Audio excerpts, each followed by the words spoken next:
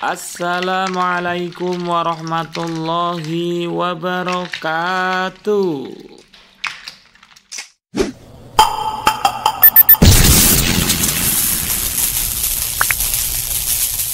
Halo teman-teman subscriber, berjumpa lagi di channel Aam Salman 354. Kali ini saya akan membagikan menu minuman Idul Fitri, cara membuat es melon nata de coco yang enak, simple, segar, dan bikin ketagihan. Tonton terus sampai selesai ya. Bahan-bahan yang perlu dipersiapkan teman-teman yang pertama setengah kilogram melon. Di sini saya menggunakan melon jenis melon madu. Kemudian satu bungkus nata de coco, mereknya bisa seperti saya, bisa merek lain lalu 180 ml sirup melon mereknya bebas. Kemudian 2 sendok makan biji selasi. Selanjutnya 500 ml air putih atau bisa menggunakan air galon. Kemudian 1 kg es batu kristal atau es balokan. Dan yang terakhir cup ukuran 12 oz secukupnya. Bisa juga menggunakan botol ukuran 250 ml. Langkah pertama teman-teman, siapkan buah melon. Di sini isinya sudah saya buang. Kemudian di sini ambil buah melon dengan bentuk bulat-bulat menggunakan alat seperti ini ya teman-teman. Bisa dikerok bulat-bulat atau bisa dikerok membentuk panjang-panjang atau kotak-kotak. Jadi disesuaikan dengan selera teman-teman saja.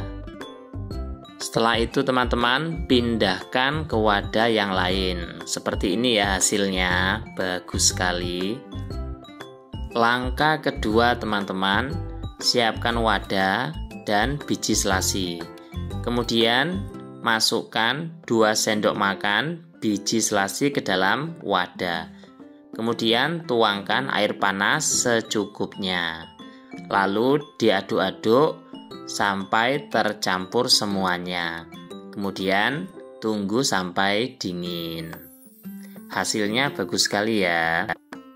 Kemudian teman-teman yang terakhir siapkan wadah, panci atau yang lain. Lalu masukkan semua bahan-bahannya. Ada es batu 1 kg, kemudian nata de coco, kemudian ada melon yang sudah dibulat-bulatkan, kemudian ada biji selasi, air putih, dan yang terakhir sirup melon.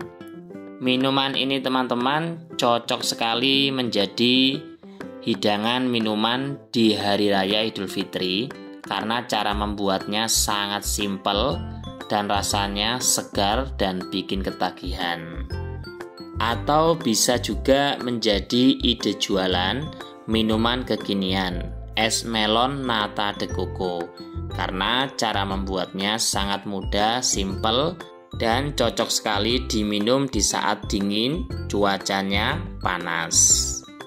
Satu resep ini teman-teman kalau menggunakan cup ukuran 12 oz menjadi sekitar 8 cup. Adapun resep lengkapnya akan saya tulis di deskripsi ya. Selamat mencoba. Oke teman-teman, cara membuat menu minuman Idul Fitri yaitu es melon nata de coco yang enak, segar, dan bikin ketagihan sudah jadi.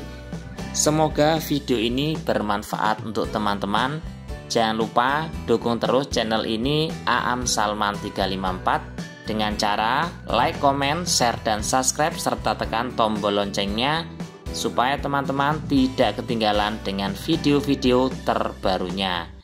Oke teman-teman, sekian, terima kasih. Wassalamualaikum warahmatullahi wabarakatuh.